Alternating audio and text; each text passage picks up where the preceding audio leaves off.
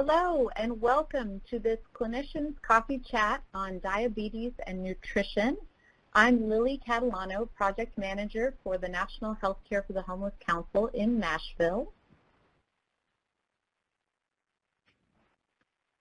This webinar is supported by the Health Resources and Services Administration, HRSA, of the U.S. Department of Health and Human Services as part of an award totaling $1,625,741 with 0% financed with non-governmental sources.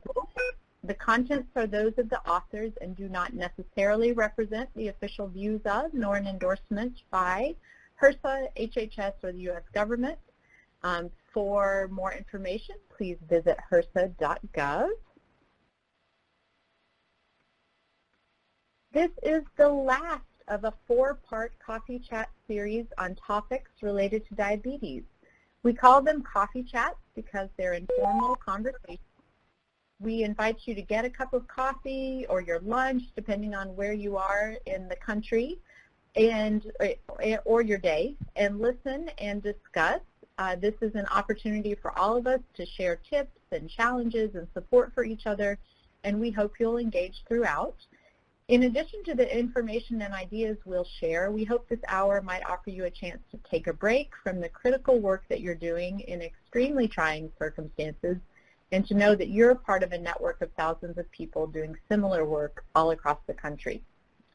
We know that all of us are currently coping with the COVID-19 pandemic in our work and in our personal lives and that that may be front of mind right now. Um, as there's a relationship between the virus and diabetes, we'll be talking about it some during our chat today. But for more conversation about COVID-19 in the context of healthcare for the homeless, join us for the Council's COVID Coffee Chats, which take place each Tuesday and Friday at 1 p.m. Eastern in the coming weeks. You can find a registration page along with a number of materials on COVID-19 and homelessness by the Council and our partners in the resources box on your screen. This coffee chat series on diabetes was developed by the Healthcare for the Homeless Clinicians Network, which is the nation's largest network of providers of hands-on care to people who are homeless. The network helps members connect, learn from each other, and share best practices across the homeless healthcare field. If you're not already a member of the Clinicians Network, please join from our website, or the Council's website, nhchc.org slash join. Um, the Clinicians Network also has a Facebook group that's open to its members, and um, you'll be able to join that after joining the network itself. So some instructions about how you can engage during the chat today. We want to hear from you and we welcome your questions and stories throughout the chat. One of the best part of holding these chats is getting to hear about people's work from across the country. So you can type directly into the attendee chat pod on the screen. Your comments will show up to all participants and I'll refer them and the questions that you post to the panelists as they come in. So first up, let's see who we've got in the room today. I'm going to post a poll question on your screen.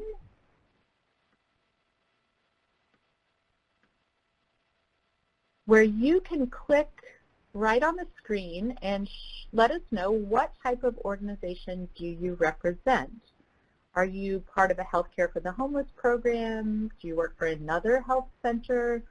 Um, an, a shelter, another service provider? Are you part of government?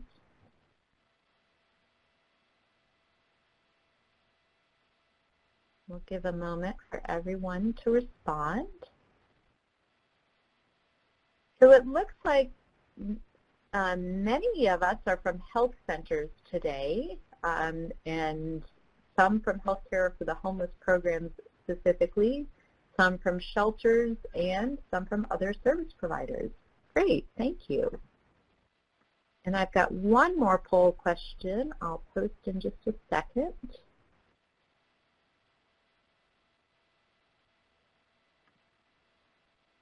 And this is about your specific role. You can click on the screen to respond right now, but are you primarily a clinician, an administrator, a consumer? Do you work in government? Do policy work or advocacy? Or something else entirely?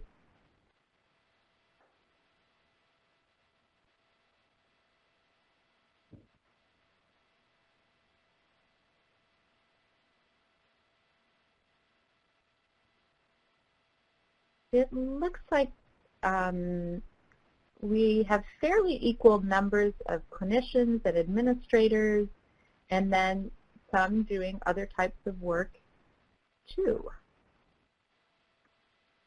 Thank you for responding to those. Um, before I introduce today's panelists, I want to point out a few relevant resources that are available for you in that resources box on your screen. Um, the resources section has a link, that top link that I mentioned has all of our COVID-19 resources, and below that has a page of diabetes-specific resources, um, including the adapted clinical guidelines on recommendations for the care of patients experiencing homelessness at risk for or diagnosed with type 2 diabetes. Um, there is also also a guide on nutrition and diabetes, how medical nutrition therapy can improve diabetes management, as well as links to fact sheets related to diabetes and archived webinars that we've created in the past. So by clicking on the diabetes resources link on your screen, that will open the council's webpage that has all of those um, resources available for you to, to, download today. So please um, help yourself and make use of those um, if they're relevant to you. Now I'm very happy to introduce you to our panelists today. We have Sandra Arevalo Valencia from Montefiore Nyack Hospital in Nyack, New York, Elizabeth Murphy from the University of Chicago Kovler Diabetes Center in Chicago, Katie Smith from Yakima Neighborhood Health Services in Yakima, Washington, and Christina Watts from Foothills Health and Wellness Center in Clay City, Kentucky. Welcome and thank you all so much for being here today. I am going to start our discussion questions and in the first one I hope you'll um, tell us a little bit about your organization that you come from and the work you do. So let's start off with can you tell us about the services your organization provides and your specific work related to diabetes and nutrition? Sandra, would you get us started? Sure. Hi, everyone. Uh, and first of all, thank you for having me here, and I'm glad to see some names uh, of people that I know in the participants list. That's exciting to know that we're talking to so many people.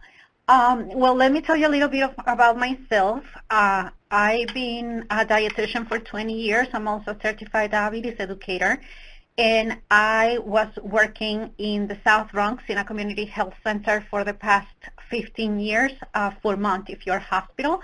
Now I have moved to Nyack, New York to the Montefiore Nyack Hospital. So I, I was taking care of uh, outpatients uh, for 15 years now, we're doing a, I'm doing a little bit more work with the inpatients. However, you know, in in both uh, jobs, I I was and I'm still taking care of a lot of homeless uh, people, unfortunately. Uh, what do we do in the outpatient world? We uh, provide services for, you know, medical services, OBGYN, nutrition, physical therapy, case management, social work, mental health, and then same in, in the inpatient, outpatient in the hospital that I am right now. And um, unfortunately, you know, now due to COVID, we've seen that the needs for a lot of these patients have grown immensely. I guess we'll talk in more detail about that later. But that's in a nutshell the work that we've been doing, together with having uh, food pantries that we manage that help um, people who don't have a home right now. So, yes. Thank you, Sandra. And I'd also like to invite all of the participants to use that attendee chat pod and let us know where you're from and what, how your, relate, your work relates to diabetes and nutrition. Um, and Christina, could you tell us about yourself and the work that you do? Uh, yes. Um, think, and also thank you for having me as well. Um, I work with a clinic in um, Clay City, Kentucky. We are a rural, um, federally qualified clinic, um, but we're in a rural area. I work as the dietitian um, and also do care coordination. Um, our clinic offers primary care services, uh, mental health, substance abuse, and uh, nutrition services. Um, so I'll provide MNT, and we're also working on um, a, diabetes program. Um, so we'll also be offering the DSME classes as well. Um, things have changed a lot for us as far as with everything with COVID. We are still trying to see um, some preventative services, but we've switched over to telehealth and we are also going to be starting a drive-through um, screening process as well.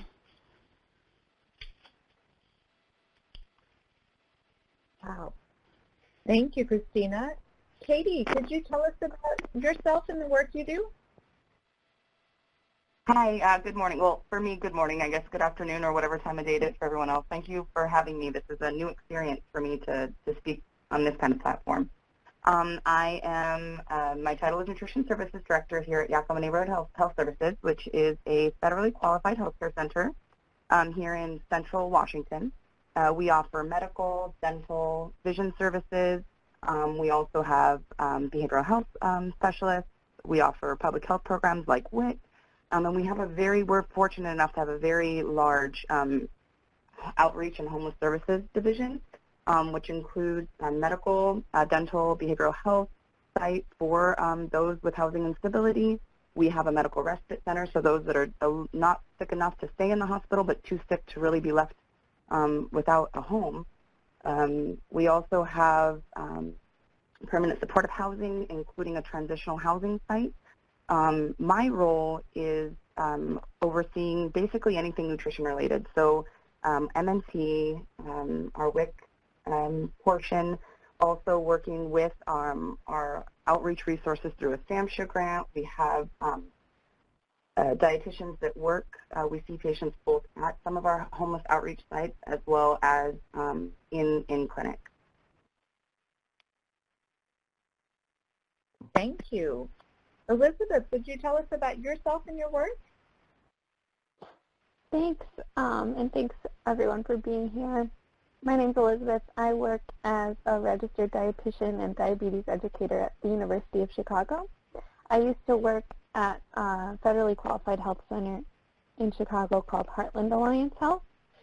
Uh, and my work that I do now, the University of Chicago Hospital is based in the south side of Chicago, so we get a lot of our patients from that neighborhood. I work on in our outpatient endocrinology clinic, and we also get a uh, variety of patients from all different backgrounds and socioeconomic status from all over like central Illinois, northwest Indiana, southwest Michigan.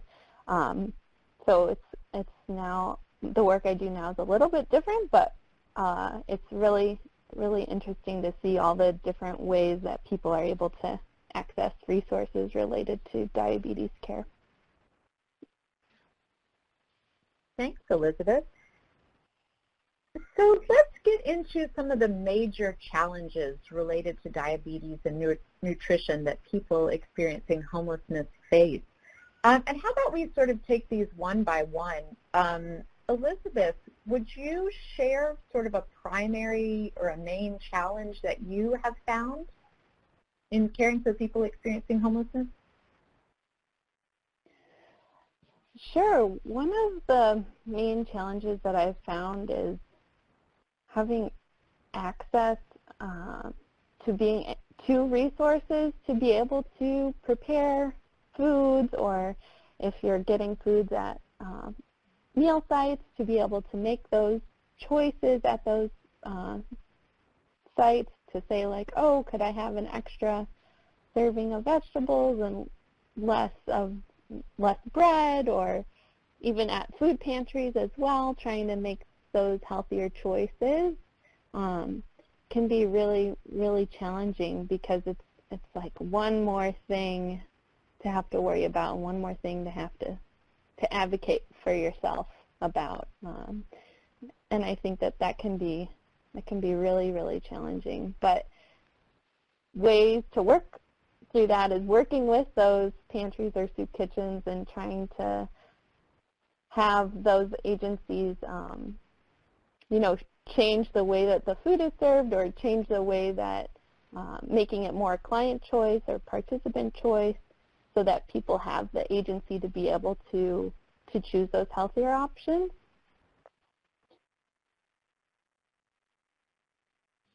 Thank you. Sandra, what would you share as a main challenge that you've seen related to diabetes and nutrition for people uh, experiencing homelessness?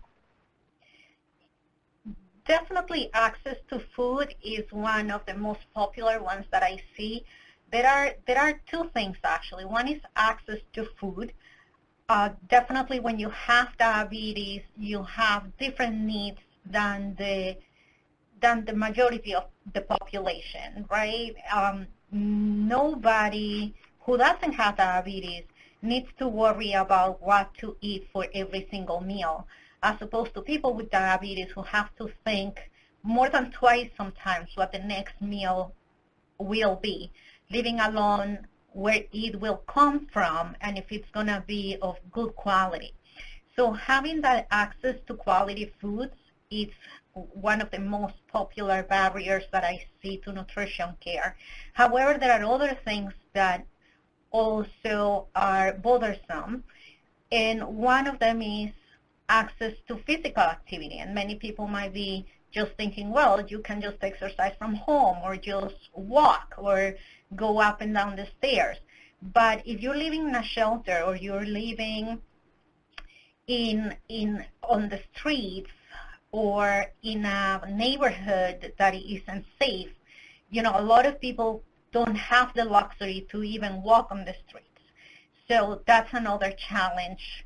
And, and a major one is lack of access to, to a home you know, in the sense that, for example, if you have to use insulin and you're going to get your insulin refills and you have to leave your insulin in a refrigerator, but you don't have a home, even less a refrigerator, then where are you going to leave your insulin? So there are many different types of barriers that we see.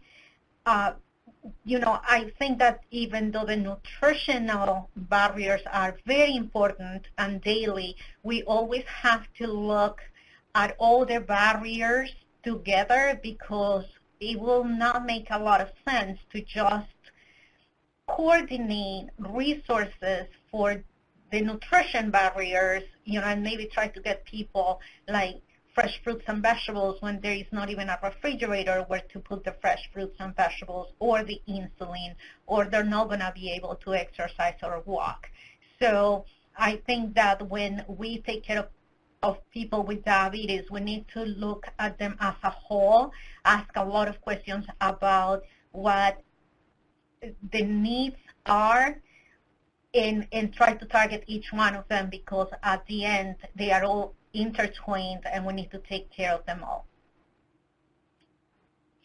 That's a great point about um, how all these things are related to each other and the importance of keeping of taking that holistic look at the situation. Um, Christina, what would you add to the, the list of major challenges related to nutrition and diabetes? Um, I would definitely agree with Elizabeth and Sandra. We definitely um, see some of those same issues in our clinic. Um, two of the other things that we deal with a lot are um, transportation and communication um, because we have, where we're in a rural area, a lot of our patients lack transportation to be able to travel um, to for you know specialty services, hospitals, uh, our our county does not have a hospital. One of our counties, we cover two counties here in Kentucky, and one of our counties doesn't have um, a hospital in it, but there are some touching, but it's still hard for them to access that um, if they need it. Also, um, many times you'll see people, you'll see them in clinic once, and when you go to reach out to them again, they won't have access to a phone, or if they have a phone, uh, they won't have minutes on there. So it's very important when they're here to try to ask for uh, somebody that they might be staying with, or a relative, or somebody that they that they might be able to get in touch with, uh, just for medications, or trying to make sure they're they're able to check their their blood sugar, or making sure they have the resources available to them. And again, with that, that also goes with food access. They are not able to access transportation to get food, um, or they're, you know, they they might have a place to stay for one day and and not knowing where they're staying the next. So it's it's a very hard challenge. Uh, we have tried to address it by providing some transportation for medical visits uh, or maybe to a food bank locally. Um, and then again, just trying to make sure we have multiple forms of access of communication with them to follow up. It doesn't always work, but uh, we are we try to be very aware of uh, possible uh, ways to contact them because it can be very hard to get a hold of them for follow-up.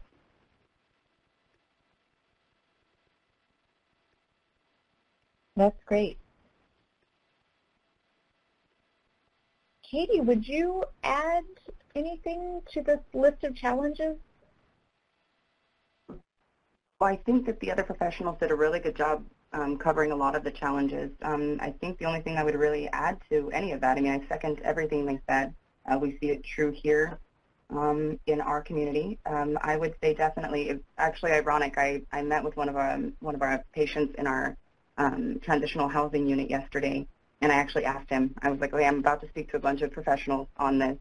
If you could have them know, you know, what is a challenge you faced based before he was um, on the streets homeless, using relying on a shelter for two years, um, and then is now in one of our transitional housing. And he pointed out that um, something that's different, I mean, he's had all scales, is everybody is different. Um, the word homeless doesn't just mean you don't have a home, right? So going in, um, understanding the challenges of what that means for that patient, um, prioritizing need based upon where they're at. Um, and then also, um, I would say um, another challenge, I agree with the transportation and being able to reach out, but that also goes hand in hand with that prioritizing need. When you um, are just prioritizing getting food, you're not worried necessarily about, okay, well, what's the carb content in this? And, you know, if you're worried about somebody not um, abusing you, you're going to be a little less likely about, well, did I have my non-starchy veggies? So it's um, being able to use motivational interviewing to the next level to really see not only what's important um, to these folks, but also kind of meeting in the middle as to what you think versus uh, what their exact situation is. Um, so that's really the only thing I would add. Everybody else covered, the, covered it pretty well. Thank you, Katie. I think that point of really um, listening and being, paying attention to the specifics of an individual situation is really critical. Um, let's sort of go back to some of the strategies that you all have found to these common problems. Um, what are the things that have been helpful that you've seen? Um, and let's go back to the, the access to food one first. Uh, Elizabeth, you talked a little bit about working with food pantries and kitchens um, on sort of the way they are offering food, but um, do you want to say more about how you've worked, how you've seen that, that partnership be successful?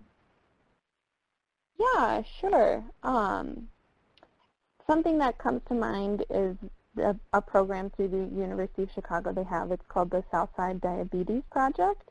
And so I know that it's all it's more than just access to food, but this this specific program does focus mostly on access to food. So a co couple of the interventions they have is they have like a grocery store tour day at the Save a Lot grocery store.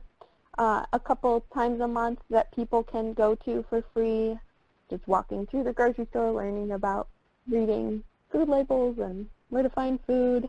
They also do, like at the little farmer's market, they have uh, produce, like a Veggie RX program. People can get produce, um, and then there's cooking demonstrations, also like a pop-up table where they talk about diabetes care and nutrition.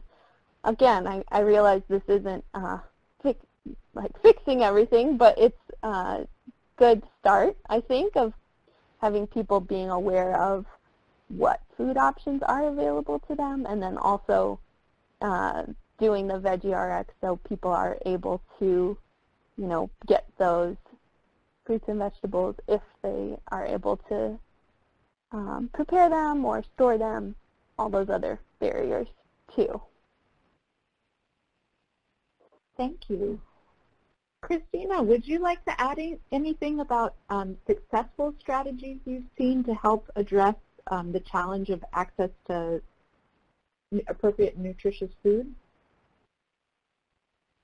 Yeah, um, we have done, I liked, um, we did a, uh, with our farmers market, we did a, a veggie voucher program for the last two years to try to increase access to some of our patients that had um, chronic diseases and, and low access, and that seemed to work really well for our patients. Um, our clinic also does emergency food boxes for patients that need food or don't have access to it right away. And in that time, we also do screenings at their visit to see what kind of um, limits they have to access food and try to pair them up with community resources to um, maybe get them on um, a SNAP program or uh, just whatever we can try to help them with or identify at that time. Um, and then we also try to give them access to the food banks here and also try to provide transportation if that is also a barrier. Great, thank you. Katie, um, do you want to add anything about um, ways that you've seen be successful in addressing access to food?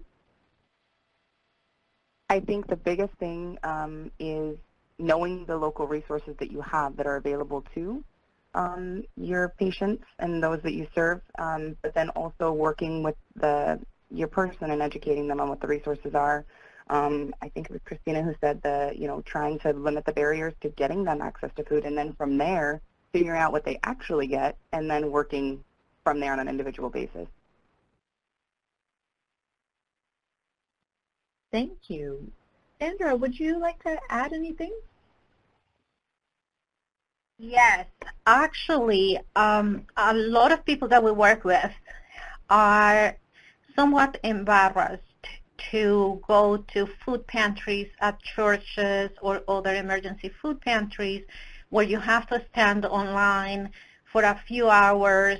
You know, you get noticed by everybody in the community and, you know, they kind of get pointed at as, as being needy and hungry. So something that has helped us a lot in the South Bronx is to have like a, a, small emergency food pantry as part of the community health center because it's a pantry that is for our patients only. And patients feel very comfortable actually coming to the providers and the dietitians and saying, I need some food.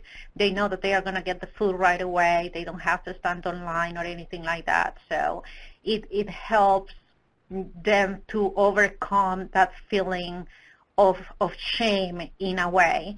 Um, something else that we have incorporated with the food pantry is we have been able to give them recipes and a cookbook.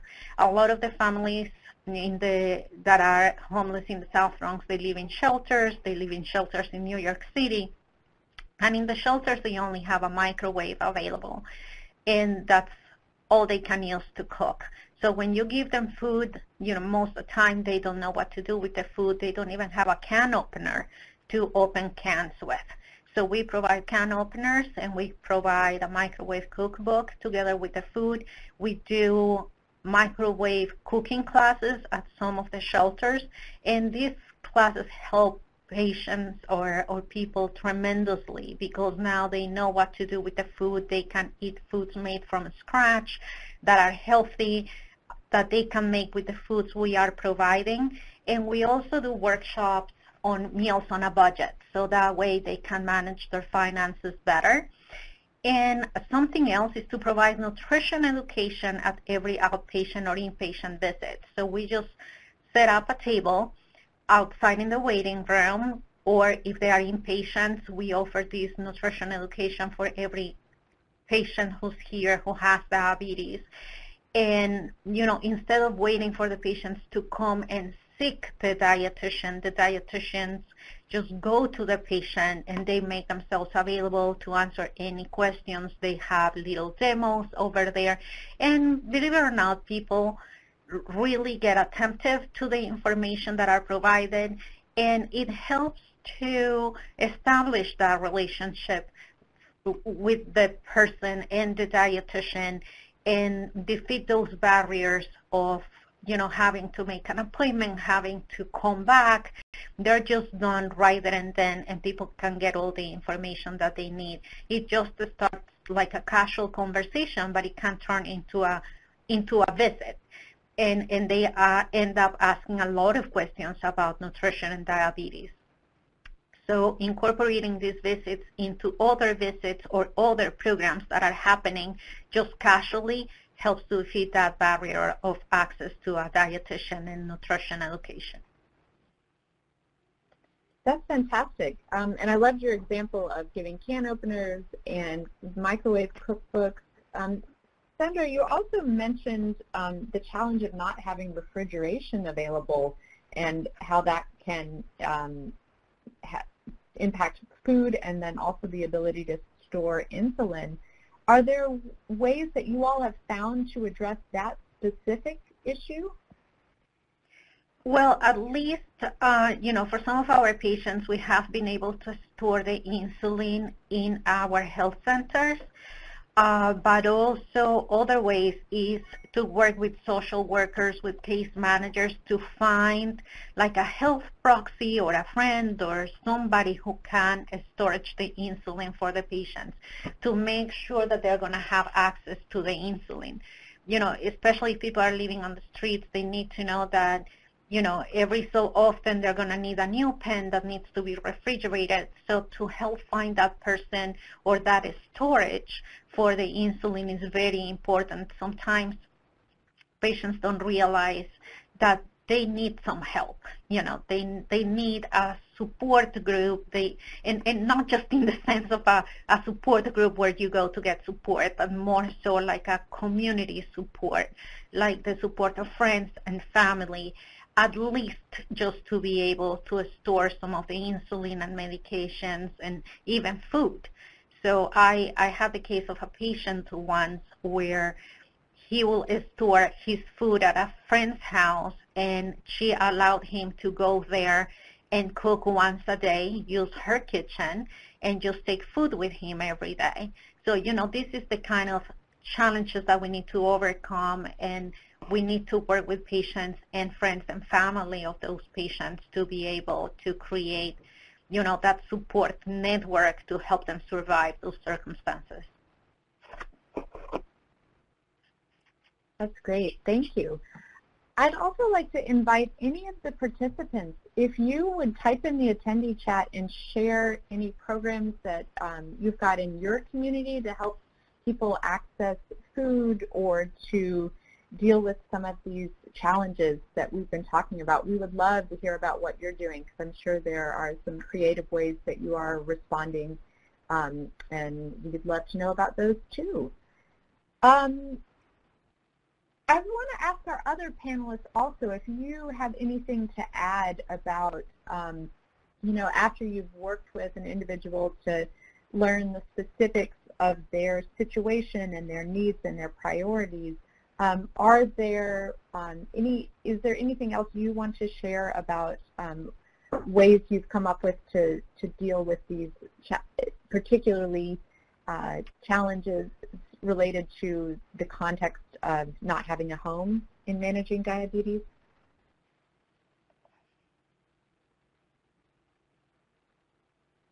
anyone want to share anything else?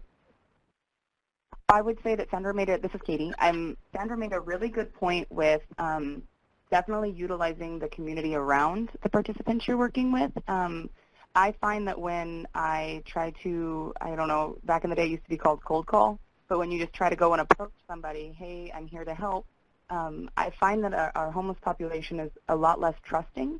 And so um, being um, either having somebody that they trust vouch for you um, or even potentially for a while be your liaison until you gain that trust um, is is a is an important factor. And then I guess medically, um, MNT-wise, um, we've worked a lot about um, if our participants have like SNAP benefits on food budgeting and talking about non-perishable options um, that wouldn't be too hard for them to transport with them throughout the day.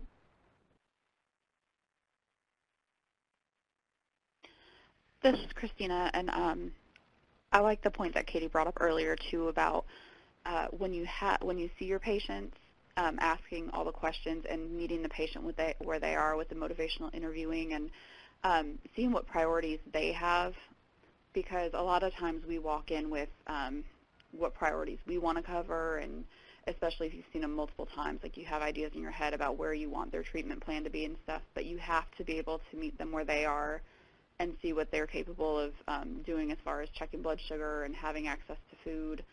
Um, that way you can try to come up with a plan together that's gonna that they're actually going to be able to be successful with rather than just kind of coming up with your ideas and sending them out the door. That's a great point that it has to start with the individual's specific goals. Um, another challenge that came up um, when we initially went around was the access to physical activity. Um, Sandra, you mentioned a couple ideas. Do you want to share a little bit more about um, ways you've helped people come up with to to incorporate physical activity? Uh, well, really, it's more of a of a challenge that is you know, at least for my community, it's really hard to defeat because, again, it's matters of safety. Like, people just don't feel safe walking around in the neighborhood, um, or they don't have equipment at home, obviously. I mean, let's to say, of course, if you don't have a home, you're not going to have equipment. But some of the the things that we found to work around and help is to have different programs offered for for uh, people who need physical activity in our health centers. Easy to say like Zumba in the waiting room with a Zumba instructor, or we also can offer dance classes, hip hop, things that attract the community that are not just per se just physical activity. Uh, yoga we've done. We've also um, let me think, there is something else. Oh, we also partner with different organizations in the community to offer some scholarships, especially for their children, let's say for karate or you know, basketball, soccer programs. There are after-school programs for some of the children, so we have been able to partner with other organizations to be able to offer something, you know, to, for these families. So for children, it's a little easier to find organizations that are willing to work with children, but you know, you need to be a little bit creative. Um, sit ex sitting exercises and stuff like that. Like we create just handouts with different exercises that you don't. All, all you need is like a chair and a you know two feet by two feet of space in order to exercise a little bit. So going back to the motivational interviewing and meeting patients where they are, I think that it's also important to let patients know that, you know, you don't need to join a gym. You don't need to run a mile. As long as you move a little bit with whatever you have, that is what's really important and just to start from there. Just but it's important to know what they like to do. Like if they like to dance, then dancing will be their exercise. If they like yoga, you know, that will be the exercise. And, you know, maybe just the cleaning around could be a type of exercise. So you just have to be very creative. Thank you. Do any of the other panelists want to share examples of um, ways you've seen um, help people incorporate physical activity? Sure, this is Elizabeth. Um, I definitely agree with everything Sandra just said, and some sometimes it's knowing what options there are too. Like the Chicago Park District has an exercise prescription program where somebody someone's doctor can give them a referral so they can go to the park district and exercise for free. Or sometimes different hospitals will have um, like exercise activities, again, like chair exercises or low impact physical activity. So it's a matter of, of knowing what, what resources exist in the community and then, and then connecting people to those resources. But I also 100% agree that sometimes people think like, oh, well, I can't go to the gym, therefore I can't exercise. But exercise can be any way of moving your body. It doesn't have to be um, like going on a run. So I think that's a really important message to convey to people as well. Sure. Christina, anything you'd add about physical exercise? Um, really, I think what one of the best things that we can do here is know what resources are available out there um, and try to encourage people to use those. Like I know sometimes our extension office will do free or very low-cost exercise programs uh, for a period of, of time. Um, and then just, again, working with the patient and seeing what they have access to or what's around, what they can do, whether it is just getting up and walking um, around very like small amounts, um, just encouraging more movement throughout the day. Uh, but it really it really is just dependent on what the, the patient has access to. Thank you. Katie, anything you'd like to add? Um, just one more idea that actually presented itself um, through this COVID um, stay-at-home that we have going on. Um, I have a, a a patient who um, she was reliant on walking, um, and she actually was off and on couch surfing with friends, but she had recently gotten into a long-term motel. Um, and so we worked together. She didn't feel comfortable because um, there was a lot of people like hovering around outside, and she just didn't feel comfortable walking um, any longer. And so we brainstormed together, and she has free Wi-Fi at the motel. So um, we, using her smartphone, doesn't use any of her minutes. She just linked up to her the Wi-Fi at the hotel, um, and some of our patients have found that you don't even have to be in the hotel to access their Wi-Fi. Um, but uh, looking at free YouTube videos, um, there's tons of walking and dancing, and, and you don't really need much space. And so she found a couple um, walking DVD or walking YouTube videos that she liked that doesn't they don't cost her anything, and they don't use any of her phone minutes. So um, that's a helpful idea.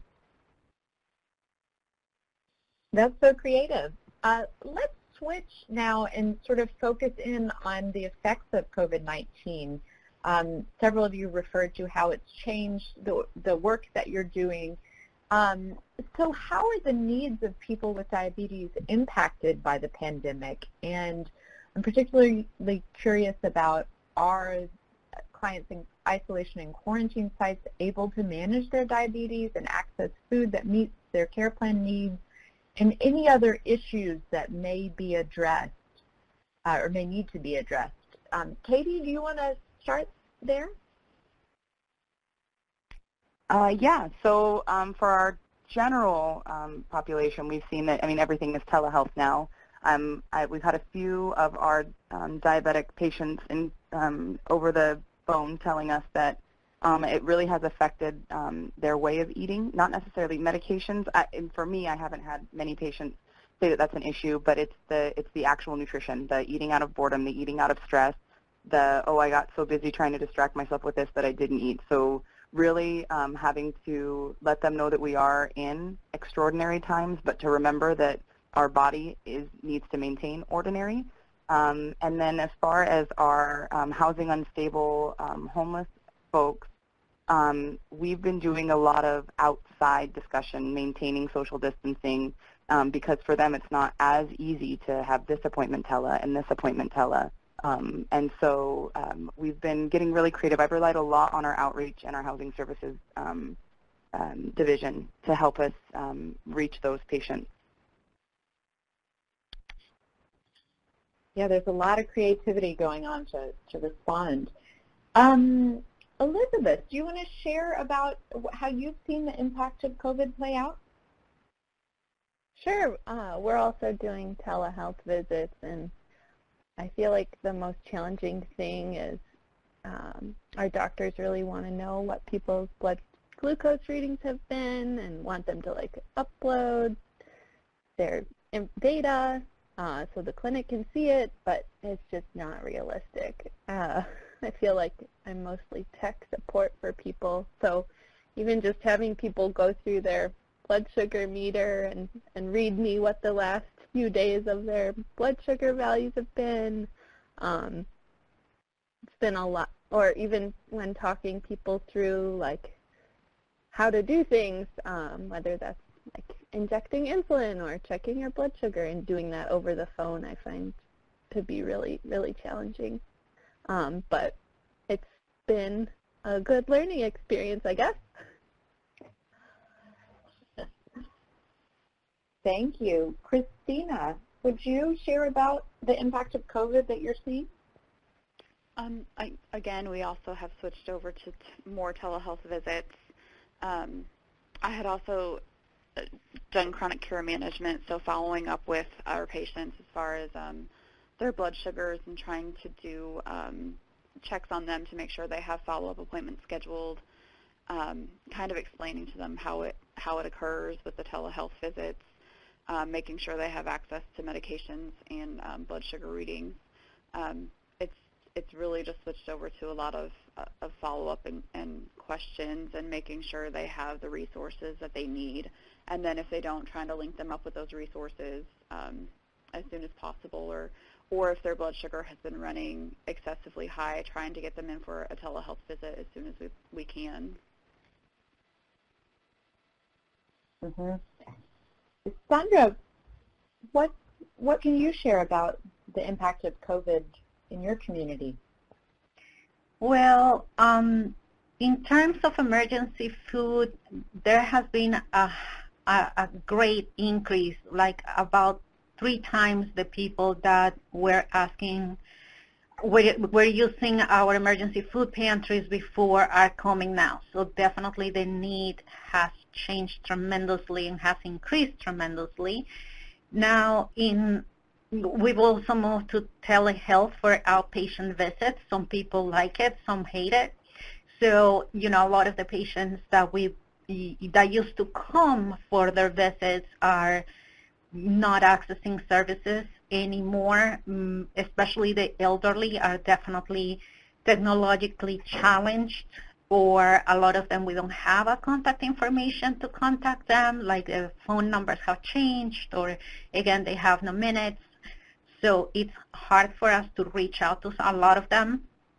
then from the inpatient point of view, we definitely see that a lot of people who have gotten COVID, you know, they have diabetes, they have high A1Cs, and the higher the A1Cs, the poorer the prognosis. So unfortunately, that's something very sad to know that definitely people with diabetes have been highly impacted by COVID-19 in an unfortunate bad way. Yes. Um, yeah, I want to invite again any of our participants to share how things are going in your community and the impact um, you're seeing of COVID on people with diabetes. Also, thank you to Caitlin Sinovic for pointing out um, when we were in the discussion on physical activity about um, a, something that their community has um, where the local YMCA offers gym memberships based on income. So that's a way to um, access the gym for um, people, particularly on SSI. It looks like they can um, join for $12 a month. So neat to see the creative ways different communities have responded to needs out there. I want to ask you all a little bit of a different question from when we were talking about the challenges that people experiencing homelessness face. I'm curious what you each find most challenging about the work you do. Um, so maybe similar issues, but um, more sort of uh, about your personal experience. Um, Christina, would you like to start us off? Um, I think one of the the most challenging is um, sometimes when you have lack of resources, trying to um, come up with creative ways to try to meet patients' needs. Because sometimes um, you might, especially currently where there are more people that are needing access to food, um, you just got to try to work with with your outreach team or with uh, case managers and, and, and, everything to try to address those needs. Um, again, like with the communication, uh, trying to follow up with patients, um, it's it's just hard to try to to try to meet those needs sometimes. So trying to come up with the most creative ways. Um, that's why I like uh, opportunities like this, where you can hear what other clinics are doing um, across the country a lot of times you hear ideas that you hadn't even thought of um, that maybe you can try to implement. Um, so I really encourage people to try to take advantage of learning from other um, other practices, other clinics, and seeing what other people are doing because a lot of times I, I know just working with some of these in the past, I've gotten some great ideas that have definitely helped with um, some of our patients. Great. Sandra, what do you personally find most challenging? Um, well, to me, it, you know, just to say it in a word will be readiness. And readiness in two ways. It could be because the patients aren't ready to make any changes and you try so hard and you do a lot of motivational interviewing and education and all of that and the patients still don't make any changes just because they are not ready and you know how important it is for them to make changes. And and it, you know and you just keep trying and trying but they're not there yet. So that's one way. But then the other way is again that lack of resources like sometimes you just feel that you're against, you know, like swimming against the current, trying to find all these resources, and nothing seems to be either enough or good for the patient. And, you know, it feels sometimes like you want to do so much, but you can only do this much, you know, and that's to me the biggest challenge. Yeah. Thank you. Elizabeth, what do you find most challenging? Actually, Katie mentioned this earlier, um, but trust, um, building that relationship and, and having people feel comfortable talking about what their social situation is or what um, what challenges they're facing and, and what things they would be ready to change or willing to change. And I think that you know, without having that baseline relationship or that trust, then, then those conversations are a lot more challenging to have. Um, so that's a really important building block, a really important piece of the puzzle. Thank you. Katie, how about you? What's most challenging? Um, I think the the previous two ladies um, did a really a really great job explaining exactly that. It's the access to resources, the person's perception, readiness to change, the relationship building in a much less trusting population. Um, but I think that for me the biggest challenge is um, diabetes management, of course, as we know, is a lifelong thing. Um, but also in particular in our specialty of nutrition, you know, nutrition is a daily choice, right? We are constantly having, it's not like it's something that we, you know, have to can just instantly avoid and it goes away. We have to manage it every day, um, and in particular for diabetic patients. And so when we're working with um, people with housing instability, you know, it's very hard that you could make progress, and then next thing you know, another stress point comes up for them that then backtracks you so much. So in really working with that motivational interviewing and, and having a and really giving that person self-efficacy is very difficult to do when they've got a lot stacked against them. Um, and so even when there's a readiness to change, what you spoke about last week could be completely different than what you need to focus on this time. So it makes it very difficult to build on that um, nutrition component. Thank you. And thank you all for your candor and honesty about how challenging this work can be and, and the situations that clients are often in. We have just a few minutes left here. Um, thank you to Darlene for also sharing another idea in the attendee chat um, for strength training that folks can use canned goods as weights or bleach or laundry detergent or anything that might be available. Um, or as Sandra points out, um, moms with small babies can use the babies as weights um, to help with bonding and also get exercise. So lots of creative ideas that people are sharing, so thank you. Um, before we close today, I wonder if there's any final advice that each of you would give to others working with clients experiencing homelessness who have diabetes. And Elizabeth, would you like to go first? Sure. Um, I guess knowing that this is a, like Katie was just saying, this is a chronic disease. This is a, it's a long process. It's a journey, and not everything's going to be solved in this, you know, one hour consultation. But this is an ongoing process, and things things can change, and and people can can make changes to better manage their diabetes. Thank you. Christina, what advice would you give? I again, I think the um, for me the most important um, thing I've learned is is really focusing on the patient and letting the patient, you know, um, set their own goals and, and come up with with what is what they are capable of focusing on at that point. Because as as they've stated, um, week by week things can change. Um, you know, they their access to food, their home, whether or not they have a home, all that stuff can change so much. So, so letting the patient um, kind of lead the conversation as to what they are uh, uh, um, able to accomplish. Mm-hmm. Katie, what advice would you give? Um, in addition to the advice that was given already, um, I would say as a, um, um, and maybe this is more of a coordinator perspective, but re, well, and in clinician, um, becoming make sure that you're familiar with the local resources. Never quit.